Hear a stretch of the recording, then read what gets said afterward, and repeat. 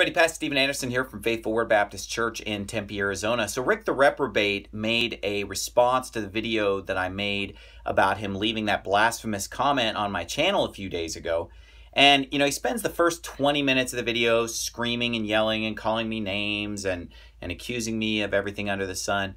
And then the last 20 minutes of the video he spends on the phone with a representative from Apple which is totally not a relevant person to be talking to since the thing in question is his Google account. And the whole time he's talking to her, you can tell she doesn't have the information he's looking for. She can't help him. He keeps trying to feed her this narrative and kind of just get her to say what he wants her to say.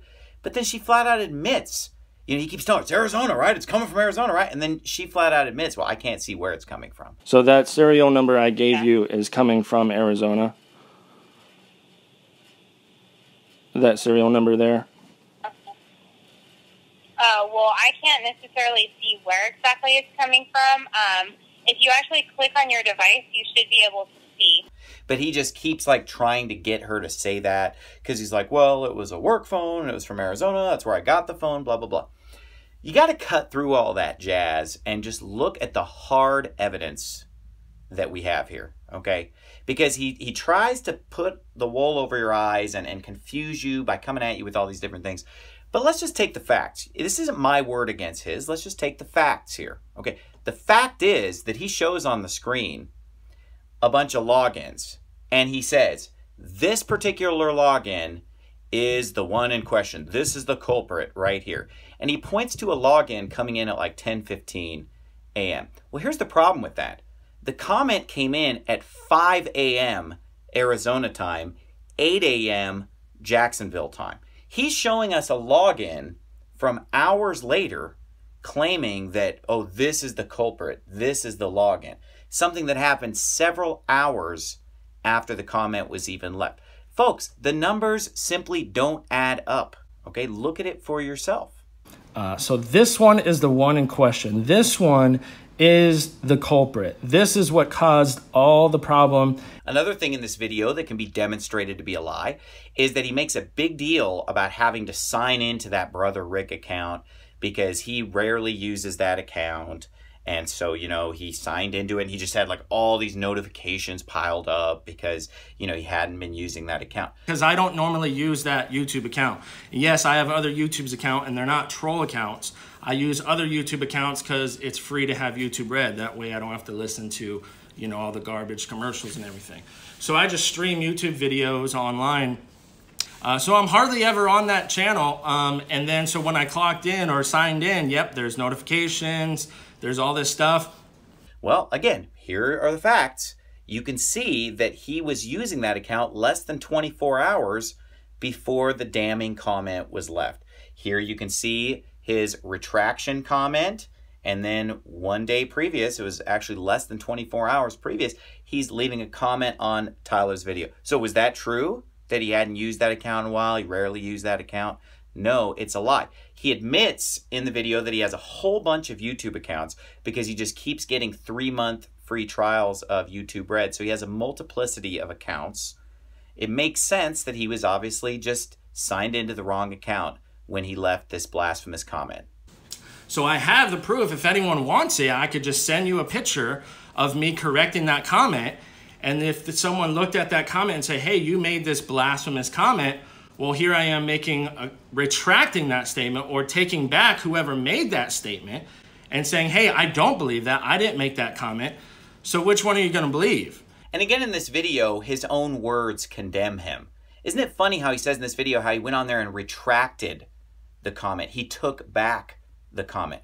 Well, you retract and take back things that you actually said. You can't retract something for someone else. He catches himself and tries to change it to that in a sentence that just makes absolutely no sense. Well, here I am making a, retracting that statement or taking back whoever made that statement. Not only that, but he lies about the retraction itself by making it stronger. He says, Oh, I said I didn't write that comment. I would never say such a thing. When I said, when I made a comment, I said, Yeah, I didn't make that comment. I would never say such a thing. Of course, that's not what he said. He never made the statistically reliable denial I didn't write that comment, he gave a very weak denial. And only now that he's been coached by yours truly does he now make the statement, I didn't write that comment. Okay, which obviously is meaningless now that he's been coached on what to say. Folks, these people can be easily demonstrated to be lying. Look at the facts, look at the hard evidence here. Okay, here's what he said he commented. Here's what the comment actually says. Not the same. Not only that, but he still claims that he never went around teaching this doctrine while he was at Faithful Word. Even though, again, his own words condemn him when he says, That's the doctrine I was preaching. And the video, he says that I was originally thrown out for spreading, you know, false doctrine. Well, I mean, the doctrine I was preaching, I mean, the doctrine I was preaching, I mean, the doctrine I was preaching, first of all, I wasn't spreading it to anybody. And I stand by that statement. And anyone who wants to come to me and stand in my face and said, I heard you say such and such, you're a liar. You are a bold faced liar. I will say that to anyone who comes up and says, Yeah, Rick Martinez came to me with that doctrine or whatever. Can I tell you the honest truth? Yeah, You can ask truth. Rick Martinez this. I showed it to him, and he has showed it to most of the people. I mm-hmm. promise you. I mm-hmm. promise you. I promise you. You're a liar. You are a bold faced liar. And there were many, many witnesses that said that he did approach them with that doctrine. Tyler Baker himself said that he went around teaching everybody this doctrine. But his answer for that is, well, Tyler Baker was lying, and Tyler called me and, you know, said he was sorry. But then he also tries to bring out, well, Tyler said that he was going around and spreading all this. You know what? Tyler was man enough to call me up and said, you know what? I apologize for, you know, throwing you under the bus. You know, I was I was backed in a corner and, you know, that's what came out. And he says, oh man, you know, I was so manly of him to call and apologize. So basically, when you're backed into a corner and you lie and lie about your friends, throw them under the bus, and then you're like, "Oh man, sorry, I just got so scared. I was peeing my pants, and so you know, I just, I just said you did it, Rick. I just blamed you, Rick. I'm really sorry. Will you forgive me, bud? Oh man, you're such, a, you're such a great man. That's so manly. It's very manly. I mean, you can't even make this stuff up, okay? The and it's not you could just say, well, you know, you get in a pinch and you lie to cover your backside. Yeah, but there's one thing when you're lying to cover your backside. Tyler didn't just lie. He said, I promise you. He said, I promise on everything. He's like, I'm going to tell you the honest truth, Pastor. I swear to you eh, on everything. Promise. somebody's lying. I promise on everything. I mean, when you're saying, I promise, I mean, that's intense lying. These people can be demonstrated to be liars. At each point in the video, it can be shown that he's lying. Okay. So, this whole song and dance that he does, calling up this Apple lady, showing logins that happen hours and hours later, his own email shows that he only got a foreign device login after he'd already changed his passwords, after this whole thing went down. He can't demonstrate any kind of breach of his security before the comment was left because he's the one who left the comment. He's got a whole bunch of different accounts. He was obviously just signed into the wrong one, whatever. The bottom line is, Rick, you're a reprobate, okay? Rick is a reprobate because he denies the Trinity. He says in his video that someone's belief on the Godhead has nothing to do with salvation. As long as they just believe that the Son of God died on the cross for them, you know, their beliefs on the Godhead don't matter. This is what gets me real mad is when you start saying that your understanding of the Godhead is the gospel. That is not the gospel. The gospel is the death, burial, and resurrection of Jesus Christ. If you think, if you are trusting in how you understand the Godhead for salvation, you are not saved. If you are relying where you spend eternity based on how you understand the Godhead, you are not saved. You are not fully relying on the death, burial, and resurrection of Jesus Christ. You're relying on your own interpretation of the Bible.